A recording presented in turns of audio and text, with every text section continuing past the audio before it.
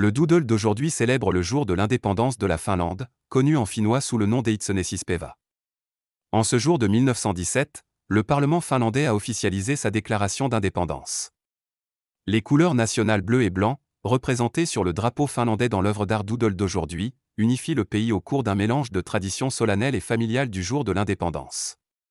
Le drapeau flotte haut sur les poteaux des rues à travers le pays et les couleurs nationales ornent tout, des pâtisseries dans les boulangeries aux décorations dans les magasins.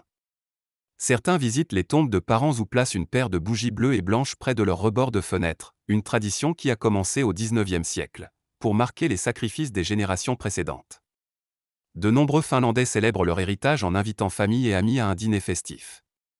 Dans la soirée, il est de tradition que des millions de personnes écoutent la diffusion de la réception annuelle du jour de l'indépendance, connu sous le nom de l'Inanjula ou The Castle Ball, qui est annulé cette année en raison de la pandémie, mais une diffusion télévisée de la journée nationale sera.